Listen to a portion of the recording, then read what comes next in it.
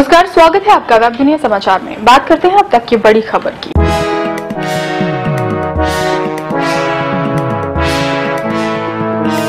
मुलायम का U turn बोले अखिलेश ही होंगे अगले मुख्यमंत्री।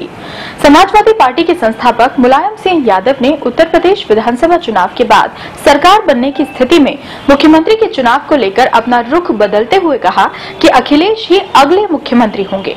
सपा में दो फाड़ के बाद चुनाव चिन्ह साइकिल पर दावेदारी को लेकर चुनाव आयोग में अपना पक्ष रखने के लिए दिल्ली गए मुलायम ने रात को लखनऊ लौटने के बाद संवाददाताओं से कहा कि अगला मुख्यमंत्री अखिलेश ही बनेगा।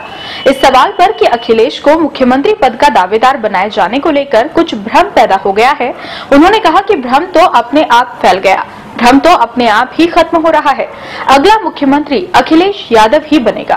सपा में वर्चस्व की लड़ाई के बीच मुलायम का ये बयान बेहद महत्वपूर्ण माना जा रहा है। वे पूर्व में कई बार कह चुके हैं कि सपा के अगले मुख्यमंत्री का चुनाव सपा के चुने हुए विधायक ही करेंगे।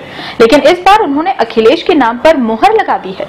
मुलायम ने कहा कि वो पार्टी को एकजुट करने के लिए पूरे प्रदेश का दौरा करेंगे। उन्होंने कहा कि हमारी पार्टी एक है। हमारी पार्टी टूटने का सवाल नहीं है।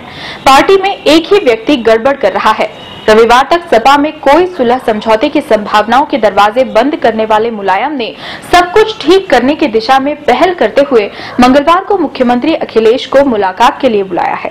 इससे पहले मुलायम ने रविवार को कहा था कि वे अब भी सपा के अध्यक्ष हैं, जबकि अखिलेश प्रदेश के मुख्यमंत्री हैं। साथ ही शिवपाल यादव सपा के प्रदेश अध्यक्ष हैं। मालूम हो कि गत एक जनवरी को सपा के विवादित राष्ट्रीय अधिवेशन में अखिलेश को पार्टी का अध्यक्ष बनाया गया था, जबकि मुलायम को पार्टी का सर्वोच्च रहनुमा का पद दिया गया था। इसके अलावा सपा महासचिव अमर सिंह को पार्टी से निष्कासित करने तथा शिवपाल को पार्टी प्रदेश अध्यक्ष पद से हटाने का निर्णय भी लिया गया था। मुलायम ने इस सम्मेलन को असंवैधानिक घोषित कर दिया था।